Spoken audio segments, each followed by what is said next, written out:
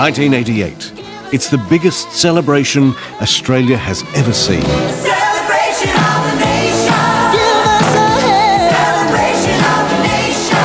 Let's make it grand. Australia throws a year-long party to mark the 200th anniversary of European settlement. For me, the bicentenary was a huge leap forward in the notion that the nation is not simply an outpost of Great Britain and that we do have a fabulous history. People felt good about themselves, good about the condition of the country, good about Australia's place in the world. G'day, viewers.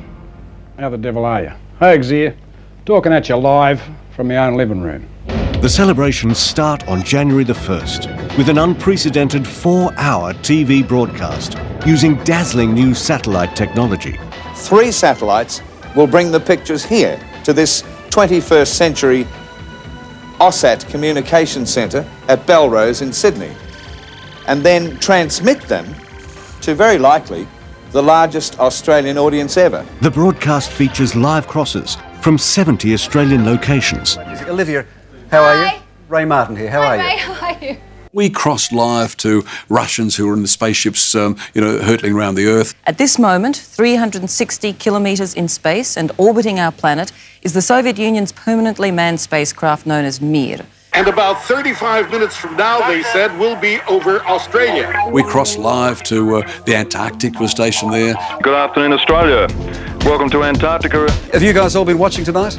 Oh, we've been watching for hours, Ray. It's, it's quite an unreal experience. I think Brian Bury was on a, on a train heading across the Nullarbor. We crossed live. Strolling with my girlie when the dew is pearly early in the morning. Dick Smith was on his helicopter. I'm just going to show you where the control room is. The Channel 9 guys and the AUSSAT guys are actually underneath the track there. Incredible. There they go. It is great stuff. I was in New York, one of the one of the uh, presenters actually for Channel 9. It was some ungodly hour of the morning that we were there doing our bit. Five o'clock in the morning here in uh, New York. Here's proof that we are uh, giving this program around the world because I'm in the uh, the control room for the A&E network, which will be showing to Americans at a more civilised hour. We do all these extraordinary live things. What we do have, in fact, is real life drama. Even Clive James, who was uh, king of television at the, that time in Britain, couldn't believe that we'd been so daring to do this. And this was four hours of live, uh, seat of the pants uh, sort of television. And it was great fun. Thousands of projects, from local parks to highways,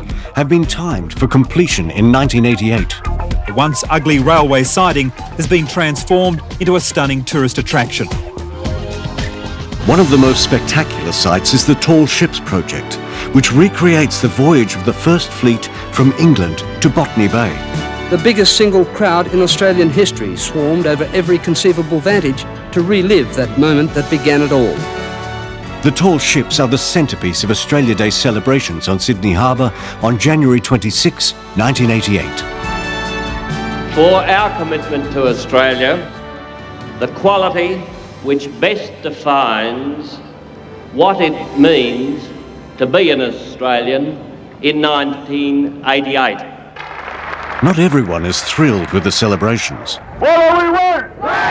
While Bob Hawke is making his speech about national identity, 40,000 people, Aboriginal and non-Indigenous, hold the biggest march seen in Sydney since the Vietnam War. As the barricades were thrown aside, the procession gained momentum. Problems that were started when the First Fleet sailed through those words 200 years ago, the problems that were begun by that still exist today. The beginning of a discussion of while white Australia was celebrating, black Australia was saying, well, hang on, while for you 200 years ago was a hugely significant moment, for us it was grim times. It was the beginning of a national discussion on the issue. But the celebrations march on. In April, Brisbane opens the largest event of the bicentennial, World Expo 88. I now declare World Expo 88 well and truly open. The six month long World's Fair includes pavilions from 36 countries and attracts 15 million visitors. This is it, the main event of our bicentenary World Expo 88.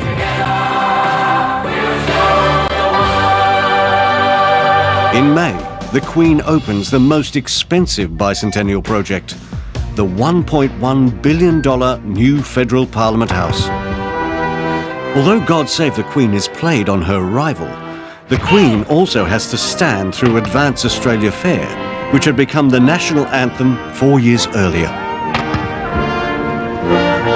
All my life at school and thereafter, we'd sung uh, God Save the Queen as the national anthem. So to be told that the national anthem had now changed, it was a bit like saying, oh, rightio, a bit like changing the name of your country. I think it did, again, very much capture the mood of the country, which was not one of distaste for Britain, but it was a sense that we were our own country. And I think it did create the conditions for that sort of surge of Republican sentiment. It's a beautiful song. We still play God Save the Queen on various occasions when uh, members of the royal family are here. So it was, in retrospect, a great event for Australia. Yeah.